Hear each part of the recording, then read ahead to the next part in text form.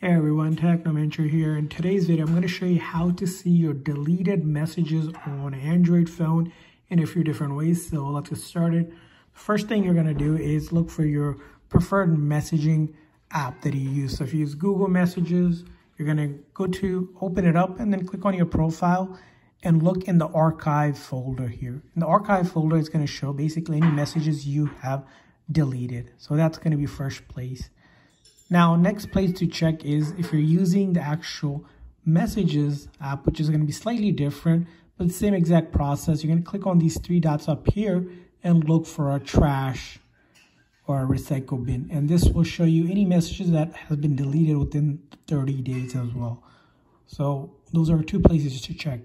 Now, another way you can also see deleted messages is if you have a backup of it, depending on when you backed up your phone, you can go to your setting. For example, here, we can go to the Google services in the settings and then check the backup here. So we'll see here, there's a couple options here and we can see that backup is turned on. I can go ahead and manage backup and then other device data.